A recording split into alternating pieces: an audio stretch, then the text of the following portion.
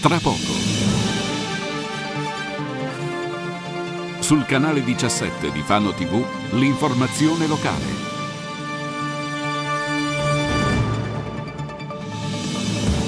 Sgozzata in casa con un pezzo di vetro, la vittima è un'anziana uccisa all'Alba Iesi, grave il marito, fermato dai carabinieri un 25enne nascosto dietro ad una siepe sporco di sangue. Scontro tra due moto sulla statale 16 tra Fano e Pesaro, i due centauri trasportati in elicottero all'ospedale regionale di Torrente. Elezioni regionali ad Ancona, l'Udc Popolari Marche a sostegno del candidato di centrodestra Acquaroli. Allerta meteo in tutta la regione, previsti temporali, localmente anche forti, grandinate e possibili trombe d'aria.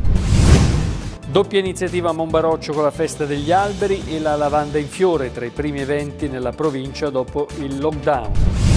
Un cane legato alla catena cieco e sordo è stato salvato dall'OIPA di Ancona. Il piccolo eh, animale adesso eh, cerca casa.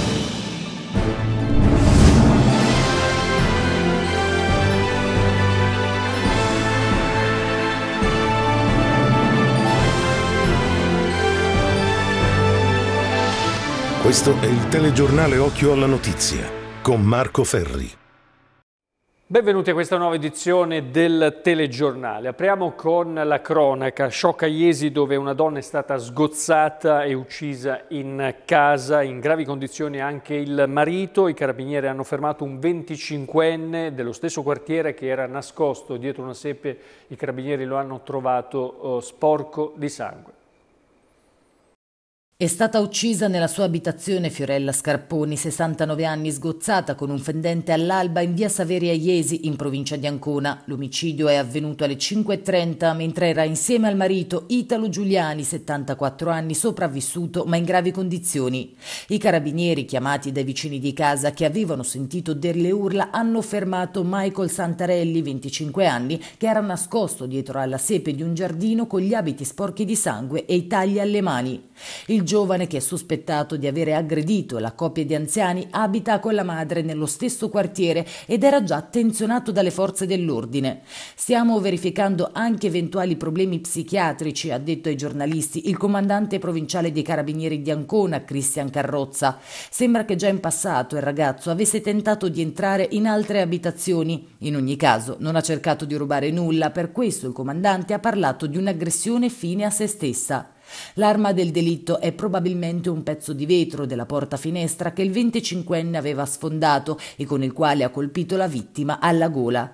L'anziano, invece, molto conosciuto a Iesi, pensionato e tuttora presidente di una polisportiva, è stato trasportato d'urgenza all'ospedale di Torrette di Ancona in codice rosso. L'uomo, che non sarebbe in pericolo di vita, è riuscito a raccontare quanto accaduto. Marito e moglie avrebbero sentito i rumori e si sarebbero alzati a vedere cosa stava succedendo.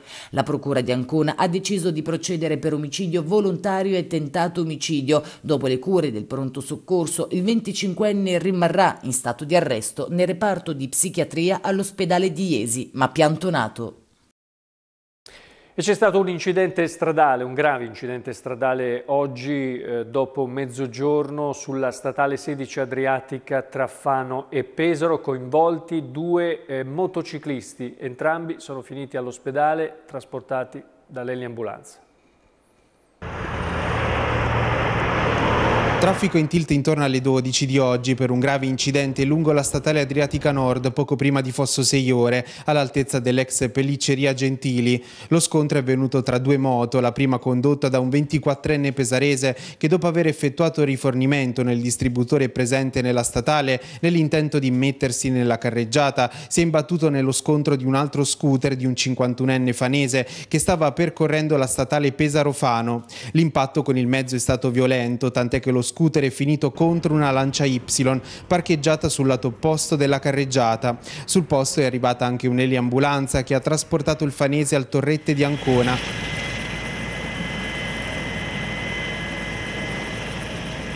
Non riuscendo a trovare rapidamente spazio, i sanitari sono stati costretti a calarsi con la fune.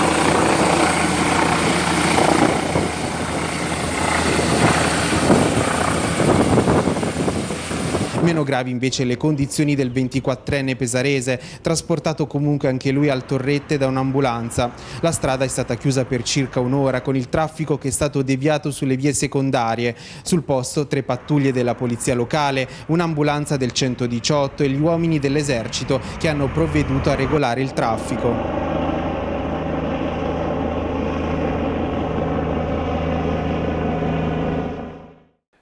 La Guardia di Finanza di Osimo ha individuato un riciclaggio di 10 milioni e mezzo di euro. Grazie all'operazione internazionale 100 carati è stata denunciata una donna di 70 anni di Loreto, compagna di Maurizio Sacchi, il titolare del DPI, società nel settore della promozione e della vendita di diamanti, arrestato oggi per autoriciclaggio. Si tratta di denaro che secondo gli investigatori sarebbe provento delle attività illecite di Sacchi nella commercializzazione di diamanti beni fatti rientrare in Italia e ripuliti con sofisticate operazioni finanziarie in Nuova Zelanda, Stati Uniti, Londra e Lussemburgo. Circa 2 milioni e mezzo di euro sono stati impiegati dall'imprenditore di 65 anni per l'acquisto di una villa con piscina a Porto Recanati, in provincia di Macerata, che è stata poi sequestrata. Altri 7 milioni di euro sono stati utilizzati da Sacchi per regolarizzare la sua posizione fiscale. E adesso invece eh, Parliamo di una iniziativa che si sarebbe dovuta tenere all'aperto all'Arena BCC di Fano dove l'Area Vasta 1 aveva organizzato un evento per ringraziare tutti i benefattori che durante l'emergenza coronavirus hanno donato eh, spontaneamente appunto eh, del denaro e eh, non solo eh, per fronteggiare questa eh, appunto emergenza in provincia di Pesaro Urbino. Solo che il maltempo ha rovinato un po' i piani e dunque dall'aperto, dall'arena BCC si sono dovuti trasferire all'interno e noi avevamo in programma un collegamento, un collegamento che evidentemente non è stato possibile, però siamo in grado di farvi ascoltare alcune interviste realizzate con eh, il Presidente della Regione Marche Luca Ceriscioli, con Magnoni, il direttore eh, della Reavasta 1 e con la eh, dottoressa Storti, eh, che è eh, la responsabile regionale appunto dell'area Vasta. Sentiamo. È una giornata a cui tenevo tantissimo perché oltre a ringraziare, come ho sempre fatto, tutti i nostri dipendenti, tenevo a ringraziare quelli che in qualche modo ci hanno sostenuto eh, sia acquistando direttamente materiali, sia materiali e attrezzature, sia eh, donando liberamente eh, somme che noi abbiamo utilizzato, tengo a precisarlo, per l'emergenza. Non abbiamo utilizzato quei finanziamenti per sostituire, sostituire apparecchiature obsolete e quant'altro, li abbiamo utilizzati per comprare strutture che servivano in quel momento. Eh, quante sono state queste persone? Le donazioni sono state 650 mila euro, le donazioni abbiamo fatto 270 attestati. Okay, di conseguenza molti sono associazioni, quindi probabilmente premiamo solo associazioni, ma dentro dentro hanno parecchie persone. Quindi ringrazio calorosamente perché eh, lo tsunami non ci ha travolto e se non ci ha travolto è anche per merito delle, delle persone che, che, che, hanno messo mano al portafoglio e ci hanno dato, dato una grande mano. Noi abbiamo sentito la vicinanza di tutta la popolazione, la vicinanza di tutti i donatori che ci hanno fatto rimboccare le maniche anche nei momenti in cui eravamo veramente alla, alla frutta e quindi dobbiamo, siamo in questo momento felici di poter ringraziare tutti quanti coloro che ci hanno sostenuto. Quali sono stati questi momenti più, più difficili? Suppongo i primi quando ancora non si sapeva bene di che cosa si trattasse. Sicuramente sono stati i primi quando ci trovavamo di fronte ad un virus sconosciuto e quindi i nostri medici, i nostri infermieri si sono dovuti adeguare perché giorno dopo giorno il virus cambiava, nel senso che a volte era più aggressivo e non ce lo spiegavamo perché, altre volte invece dava delle sintomatologie molto banali, non capivamo perché in quel caso in questo, eh, si presentava in questo modo. E poi eh, momenti difficili sono stati quando i numeri crescevano verticosamente, noi ci si raddoppiava i numeri dei pazienti giorno dopo giorno e non sapevamo quello che avremmo vissuto il giorno successivo. Fortunatamente arrivavano attrezzature, ventilatori, abbiamo improvvisato sale di degenza, sale operatorie trasformate in reparti di degenza e arrivavano le tecnologie al momento giusto. Devo dire che ci sono stati anche dei momenti in cui abbiamo temuto che non arrivassero in tempo, ma fortunatamente ce l'abbiamo fatta. A nessuno, a differenza di tante altre situazioni, abbiamo negato il ventilatore, quindi non abbiamo dovuto scegliere tra chi sì e tra chi no. Presidente, tanta solidarietà in questa emergenza sanitaria, oggi ringraziamento a tutti coloro che hanno dato una grande mano. Sì, la voglio ringraziare uno a uno, tutti quelli che hanno dato un contributo e sono veramente tanti è stato uno degli elementi che ha sostenuto, accompagnato un momento così duro, così difficile ed è giusto nel momento in cui noi possiamo guardare con serenità insomma, questa fase che ha concluso la parte più critica con pochissimi casi eh, poter aver dedicare questo momento a tutti loro che è un po' dedicato alla nostra comunità perché la, la solidarietà e la vicinanza rappresenta anche un carattere forte di una comunità che sa ben reagire anche ai momenti più difficili. Guarda il futuro con positività quindi? Il futuro va guardato con attenzione perché sappiamo molto bene che questi fenomeni sono a rischio anche di recidività. Sappiamo che in giro per il mondo in questo momento in molti paesi il virus continua ad essere aggressivo, quindi bisogna continuare ad essere attenti, però certo nelle Marche possiamo vivere questo momento con la giusta attenzione e la giusta serenità. E adesso parliamo delle elezioni regionali perché questa mattina ad Ancona si è svolta una conferenza dell'Udc Popolari Marche nella quale eh, hanno eh, dato il loro sostegno al candidato eh, del centrodestra Acquaroli. Si è svolta ad Ancona una conferenza indetta dall'Udc Popolari Marche per l'inizio della campagna elettorale del partito a sostegno del candidato alle regionali per il centrodestra Francesco Acquaroli. Presente all'evento il senatore Antonio Saccone, coordinatore regionale dell'Udc, che ha manifestato un appoggio del candidato di centrodestra, di cui il partito è parte integrante a livello nazionale. Marconi, capogruppo uscente dell'Udc in Consiglio regionale, ha rimarcato la necessità di un nuovo e giovane slancio per ripartire dopo anni, dice, di sostanziale immobilismo. Qualità umane e politiche, quelle di Acquaroli, riconosciute anche dall'ex presidente dell'Assemblea legislativa delle Marche, Vittoriano Solazzi, che ha sottolineato come la politica a tutti i livelli ha bisogno di valori e idee rintracciabili nel progetto UDC Popolari Marche. Il candidato Acquaroli, dopo l'investitura ufficiale, si è mostrato orgoglioso e soddisfatto dell'appoggio dei partiti di coalizione. Secondo il mio punto di vista, l'UDC e la presenza dell'UDC nella nostra coalizione è un valore aggiunto, ci apre un mondo, ci apre una realtà, ci ricongiunge con dei valori che sono fondamentali per garantire un'alternativa al governo della Regione Marche. Il lavoro, la famiglia, l'impresa, tutti punti all'ordine del giorno del nostro programma, all'ordine del giorno dei cittadini marchigiani e dell'emergenza che coinvolge la nostra regione. Bisogna invertire questa tendenza e bisogna farlo con progetti chiari, concreti e, e facilmente fruibili da tutti, aprendosi, cercando di condividere questa sfida e cercando di condividere la ripresa perché la verità è che c'è anche da tanti parti sociali e parti economiche del nostro territorio una volontà di partecipare che evidentemente non è stata appieno colta da chi ha amministrato finora questa regione e sta amministrando questa regione. All'evento hanno preso parte diversi esponenti politici marchigiani a sostegno di Acquaroli,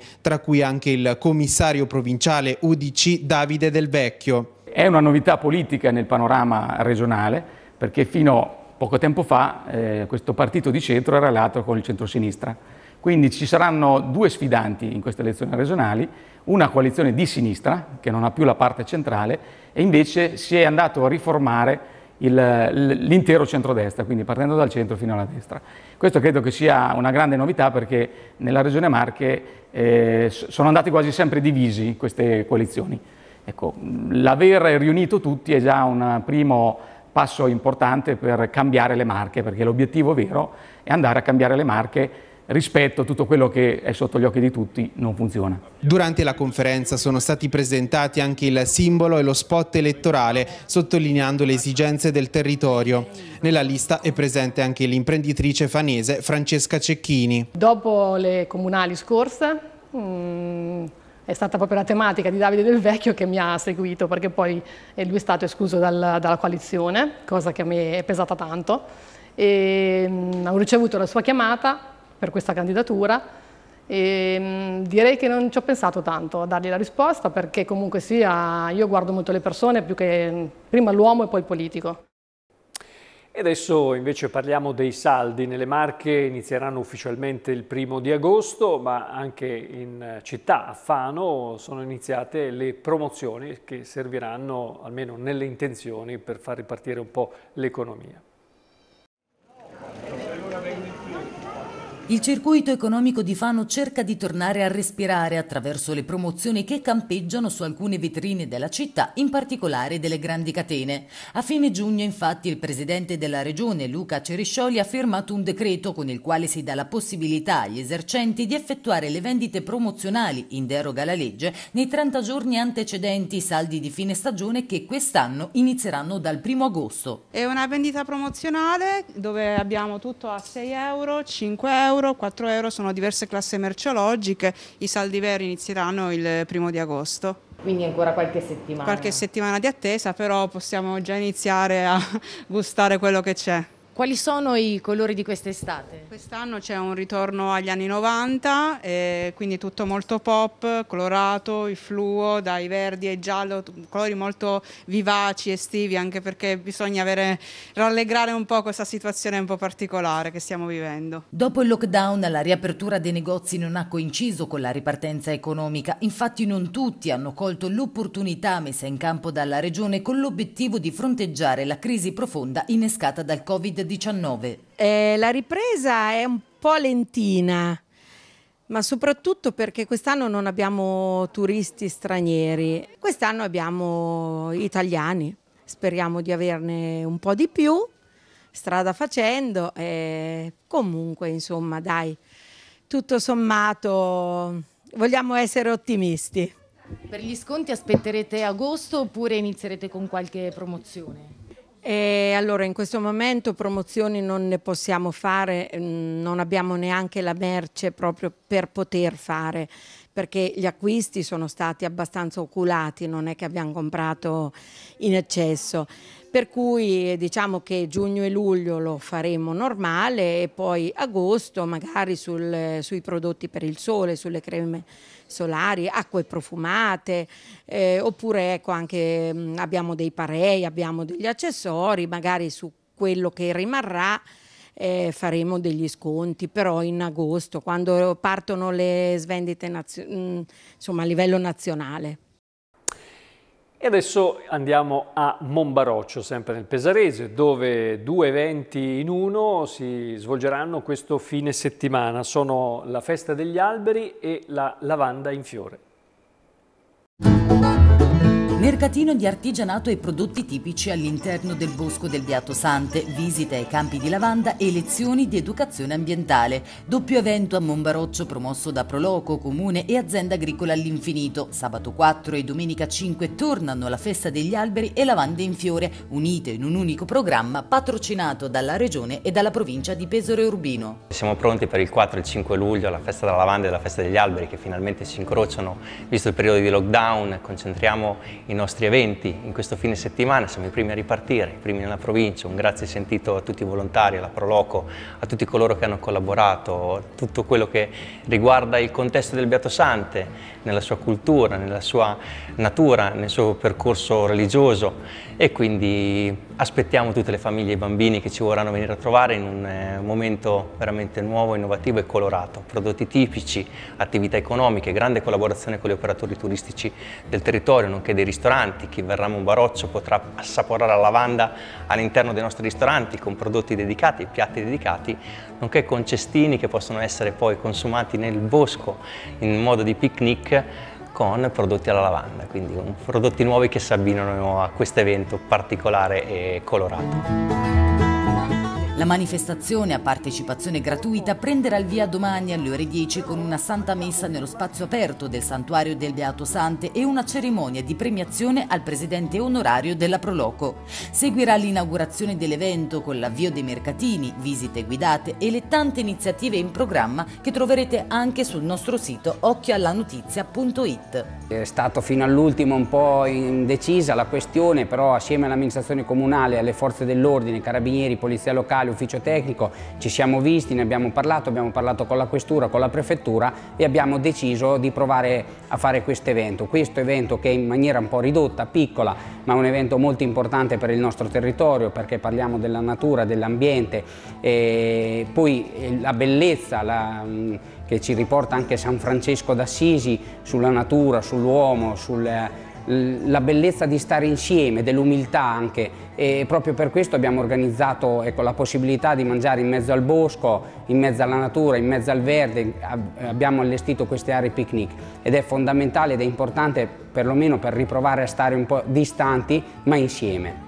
L'evento verrà dedicato a una persona in particolare, di chi si tratta? Sì, questo con grande emozione dedichiamo, che non in tutte le proloco c'è, 50 anni di volontariato. Il nostro presidente onorario, Iacucci Varis, che festeggia 50 anni all'interno della Proloco. Possiamo definirlo un'icona, la, la, vera storia di Monbaroccio e Varis Iacucci. E adesso parliamo invece del maltempo e dell'allerta meteo che è stata diramata dalla protezione civile. Eh, sono previsti in queste ore forti temporali, localmente anche intensi, con grandinate e possibili trombe d'aria. È lo scenario previsto dagli esperti eh, per eh, queste due giornate, venerdì e sabato. Anche il centro europeo Estofex, specializzato in previsioni di tempeste e fenomeni violenti, ha emanato un importante avviso meteo che riguarda proprio l'area marchigiana e non solo. Il livello più alto, ovvero 2 su una scala di 3, interessa la, la pianura padana e l'area delle Marche e l'area settentrionale dell'Abruzzo, dove si potranno verificare temporali intensi tra il pomeriggio e la sera. E adesso vi raccontiamo la storia a lieto fine di eh, Sid, un cane che ha 20 anni, legato ad una catena, cieco e sordo. Però è stato salvato dall'OIPA di Ancona. Ora, dopo anni di incuria e abbandono, eh, questo animale cerca eh, una famiglia.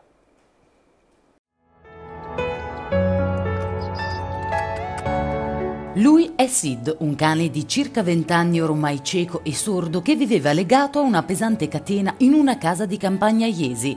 I suoi soccorritori invece sono le guardie zoofile dell'OIPA di Ancona che dopo averlo salvato hanno deciso di dargli questo nome, lo stesso del bradipo sorridente del film L'era glaciale, perché quella è stata la sua espressione quando è stato liberato. Sid passava le giornate nella solitudine e nell'incuria in attesa del proprietario morto da tempo. Lo racconta Rocco Coretti, coordinatore regionale delle guardie zoofile. Lo abbiamo subito ripulito da un'enorme massa di peli, pulci e sterpaglie che lo intrappolavano e fatto visitare per verificare le sue condizioni di salute. I familiari del proprietario scomparso pensavano di potersi prendere cura di lui, assicurandogli un pasto quotidiano, ritenendo che questo fosse sufficiente a garantirgli una vita dignitosa rischiosa.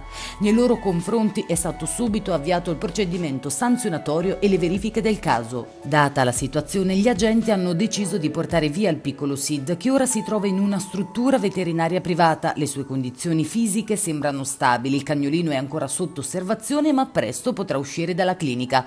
L'OIPA di Ancona ha deciso di affrontare tutte le future spese garantendo ogni cura necessaria per regalargli una vita serena. Sid però cerca casa, il suo cuore grande e forte forte ha ancora tanto amore da dare. È un cagnolino molto dolce, ha detto la coordinatrice provinciale Luana Bedetti. Speriamo che presto possa avere una famiglia. Chi vuole adottarlo può contattare questo numero e dare così un altro lieto fine alla storia di Sid.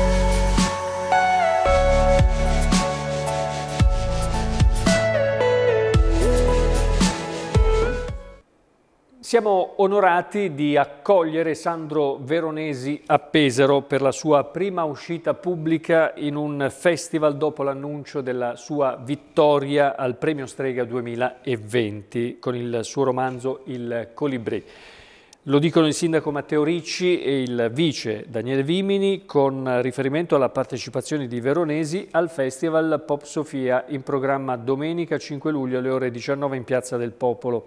Lo scrittore, due volte vincitore del premio Strega, sarà intervistato dalla direttrice artistica Lucrezia Ercoli. Per Pesaro sarà, ulteriore, sarà, un ulteriore segnale di rilancio culturale, hanno aggiunto Ricci e Vimini, nell'ambito del primo festival italiano dell'era post-Covid con pubblico e ospiti dal vivo. E vi ricordiamo che eh, domenica sera eh, qui su Fano TV, canale 17, intorno alle ore 21, eh, ci sarà e trasmetteremo in diretta la cerimonia organizzata dal Comune di Fano in memoria delle vittime del Covid-19. La città si fermerà per una commemorazione alla Rocca Malatestiana che prevede testimonianze, musica e interventi di autorità civili e religiose. Invece lunedì sera ci sarà una nuova puntata di Primo Cittadino con il sindaco di Fano Massimo Seri. Dunque appuntamento anche in questo caso dopo il telegiornale alle ore 21. Io mi fermo qui, grazie per averci seguito e arrivederci a domani.